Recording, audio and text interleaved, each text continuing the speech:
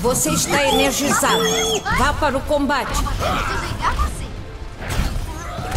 Abate duplo.